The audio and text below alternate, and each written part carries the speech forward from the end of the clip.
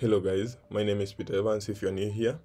Welcome back to my YouTube channel and today we are stepping into new domain as we begin the journey with a brand new app called Poultry App. So you might remember that our previous videos were focused on dairy franchise of this our demo eFarm. But now I think it's time to introduce a new app, Poultry Management app. So in this exciting new playlist, we'll explore the intricacies of raising and managing flocks of chicken using the poultry app. To kick things off, let's dive into the core models that make up the foundation of our poultry app. These models are designed to streamline the management process and ensure the well-being of our feathered friends. First up, we have the flock source model that allows us to track and categorize sources from which our flocks originate. Next, we have the housing structure model, this one here. That's all about providing comfortable living environments for our flocks and by defining various types of categories of housing structures, we can ensure optimal conditions for the chickens. And now let's talk about the star of the show, the flock model.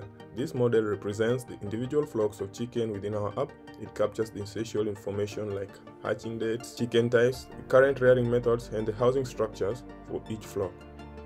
Last but not least, we have the flock history model. It's like a time machine for our flocks, allowing us to track changes in rearing methods and housing structures over time. This historical data provides us with valuable insights for future decision making. And so, as we continue this exciting journey of building our ultimate e-farm, now the new franchise poultry app, we'll delve deeper in these models and explore how they come together and create a robust and efficient poultry management system. So, let's dive in. As of the previous tutorial, we had three folders, the dairy, the dairy inventory, and the e-farm. These two first folders are responsible for the dairy app then we have the eFarm, that is the main project folder. Then today, we've introduced a new app called Poultry. So that's the reason why we have this Poultry. And so let's dive into the content of it. So as you might remember, for an app, we have several files, the ones to do with the choices, models, serializes, URLs, and views. So let me start by the choices. So this will be the choices for our models in the Poultry app. Over here, we are defining the choices for our models, starting with the flock source choices, where I've defined five of them, this farm, Kenchic, Kukuchik, etc. Then we also have the chicken type choices, where we have the broiler, the layers, and the multipurpose.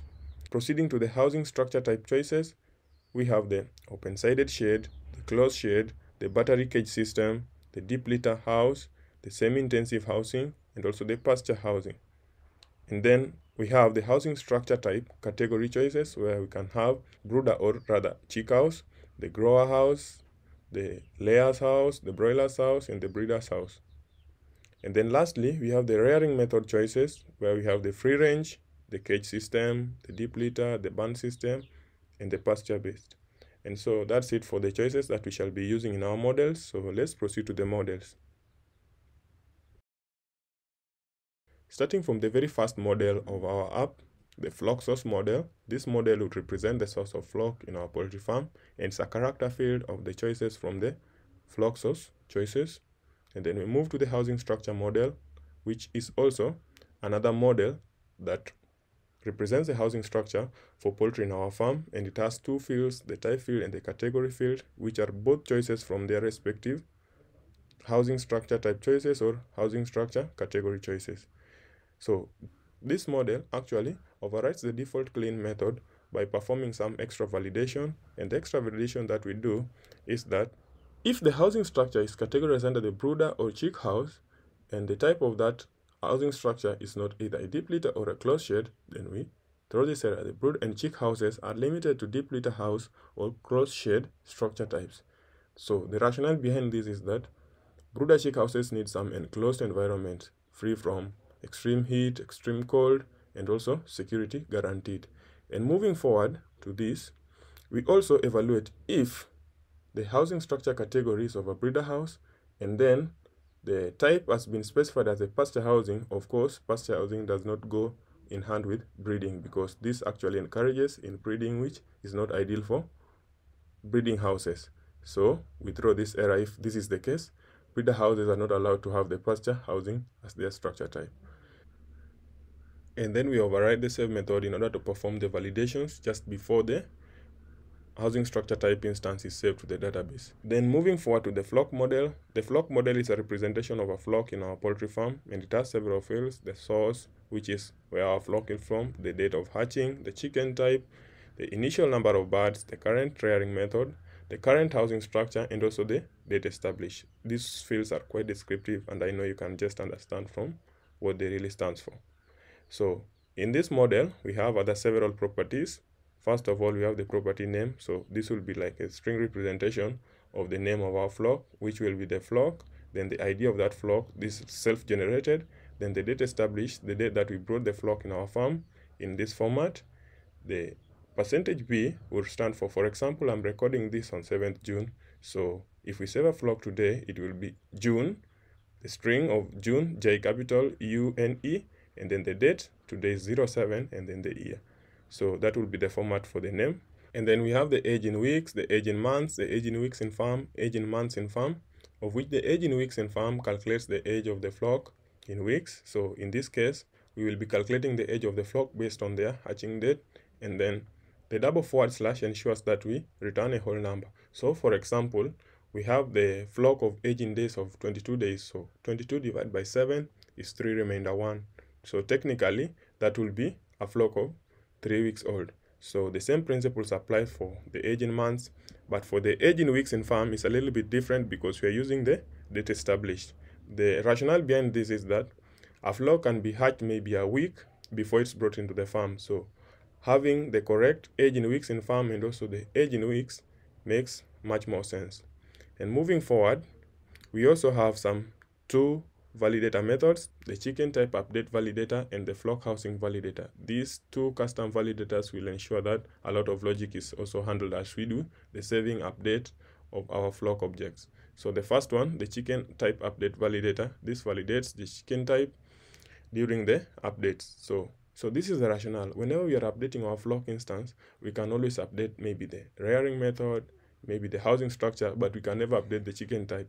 There is no way you can start with a broiler type chicken, then all of a sudden it changes into a layer. So that's the rationale that happens over here, where if self PK, meaning that this thing is actually something that is being updated because anything that has already been saved into the database as a primary key, so we retrieve the old instance chicken type and then compare with the chicken type that is being updated.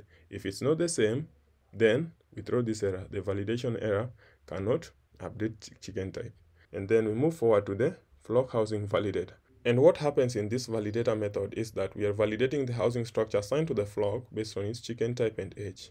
So assuming that we have a flock of layers that's less than 8 weeks, technically those are still chicks and they have to be assigned to a housing structure whose category is brooder chick house and if not then it will throw this error. Layers between 0 to 8 weeks can only be assigned to the brooder chick house and if that's violated then that will be the error actually. And the similar principle applies to all these other checks. And then we override the save method of this model in order to actually call these validators to be performed. Because if we just leave them that way, they won't be called anywhere. And then after the save, we actually create a flock history object, leading us to the new model, the flock history. So the flock history is just a model that represents the history of a flock in terms of it, maybe its rearing method, the housing structure changes at a specific time. So what happens here is that whenever we save a flock, so the flock will be like referencing to the flock object that is actually saved, then the rearing method will be the rearing method of that flock at that current time and also the current housing in a similar way. So the flock model has the field date change that is actually automatically logged. So that's the reason why we don't really necessarily have to have it over here. And now that's it for the model. So let's head over to the serializers. And over here in serializers, since we are inheriting from the model serializer, we only specify the flock and the rest will be done for us. So for example, the flock source that had only the uh, single field of source, so that will be serialized for us. Then also the housing structure will be done in a similar way. But now for the flock serializer, we had those methods of the aging weeks, aging months, etc. So since those are just methods that are being called and they actually do not need any manual intervention, they will only be read-only fields. And then we have some two fields over here, the current housing structure that was actually a foreign key to the housing structure. So in order to ensure that we do not have issues to do the nested serializer, that's actually a problem always with the Django REST framework, the package that I'm using to do the serialization and all that stuff. Actually, what it always does is that in that foreign key field, the joining table always only avails the primary key of that specific query set or maybe that specific object. And so what happens here for the two, the current housing structure and the source, since they were all foreign key fields, all we need to do is to specify the primary key related field for the serializer and it will know what to do. And then lastly, we have the flock history serializer that actually do not have much except for the fact that it also had the foreign key field to the flock, which is also just serialized the same way as we've done for the flock serializer. And now that's it for the serializers. So let's head over to the views. Over here in our view set, there's nothing much to talk about. The first two view sets, the flock source view set and the housing structure view set are somewhat the same. You only need to specify the query set and also the serializer class, at least for now. And then the last two view sets, the flock history view set is a read-only model view set since everything is done automatically. You remember just by the save of flock model, we trigger the save of an associated flock history. So that's the reason why. For this, we have the read-only model view set. And then for the flock view set, we've actually customized the update method of this view set since we also want to ensure that the chicken type over here is also restricted not to be changed because it makes sense that whenever we want to update, just like I was saying about the models over here, let me just go ahead and check it. This one here, where we were checking also the chicken type and throwing this error. Similarly, we do that to the view set. So we double check both at the view layer and at the model layer. The benefit of this is that before even the request is actually handled at the model layer, the view takes charge of it and does what's appropriate for it. And in this case, the view actually checks if the chicken type that is in the request data that is being updated, if it is not the same as the chicken type for that very instance, that is for that flock, and then we throw this error of cannot update a chicken type of an HTTP status of the 400, that is a bad request. And so I believe that's enough, or rather, that's it for the view sets.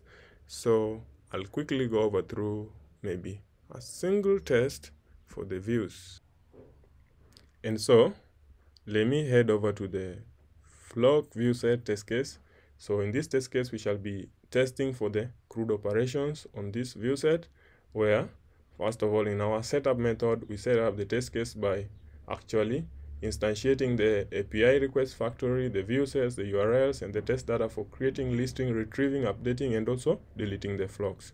So first of all, instantiate a factory object of the API request factory type over here. We then instantiate a callable object view set that will handle the get, the post, the delete, and the put. So in this case, we've not put the retrieve over here because if we do so, you will see we already have an error of the duplicate keys. And that's the reason why I've actually separated it away from all these others. And the thing is that the code always runs from the top to the bottom. And by the time that this code executes and it finds the get that is actually the most recent one, that is the one that will be the get retrieve as I was explaining over here, it will actually now reassign the list and it will be retrieved. And now performing the, the listing will be impossible because it will uh, actually go ahead and do the retrieval. So that's the reason why I've actually done it this way. And then we go ahead and now construct the URLs and also instantiate some valid data. Of course, these are subject to the validations that we're talking of, the stuff to do with the with the chicken type and also the age and maybe also the category and stuff of that kind. I have decided to define this code explicitly over here like this to give you a glimpse of whatever is happening or rather whatever is needed for all this stuff. For example, the source field expects a primary key of a flock source object. So what we simply do is just create a new flock source object and then pass its primary key. And so the first method will be testing if we can create the flock. Whatever we do is that we just simply pass the URL and the validated data to our post request and then we handle that request by our view set where if the status code is 201 then everything is okay of course since we've created a new object over here we shall be having a single flock count in our database by that time that is. Then we also assert that the chicken type is a broiler because our validated data had the chicken type of broiler and that's actually what's being passed over here.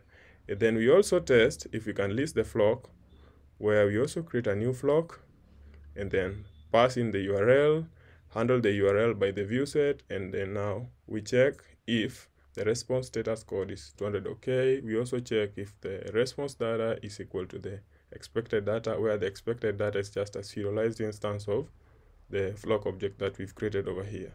Then we also test the retrieve of the flock where passing the retrieve url with the primary key also specified in order to retrieve the specific flock object that has been created through in this method over here and then we do the comparison if we actually serialize that flock that has been created with the response data that is a dictionary and also a dictionary.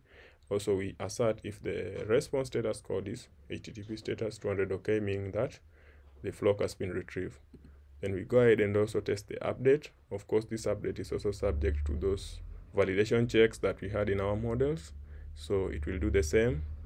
Pass in the url with also a primary key and check if the update occurs if it's 200 okay also checks in the chicken type and all that stuff.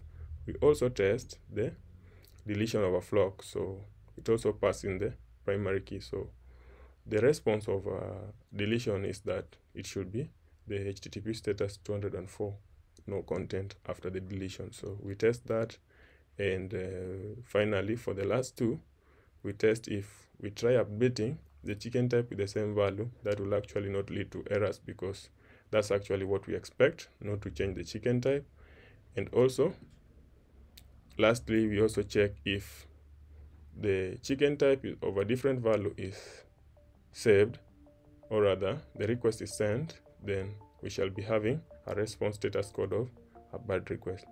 And so that's it for the test. I'll just go ahead and confirm to you that everything works okay. So if you want to know more about the test, you can as well check at the test models here, the test serializers, and also the views. And also, if you want to learn more about how I'm doing this, you can as well inform me so that I produce videos that are solely geared towards testing these models. But for now, we shall only run tests that actually includes all that we've handled today. And there's a code, the python manage.py, we test the poultry. And if we do so, we see that we have 27 tests that spans from the ones for the models, the serializers, and also the views. And so that's it for this tutorial. See you in the next one. Bye bye.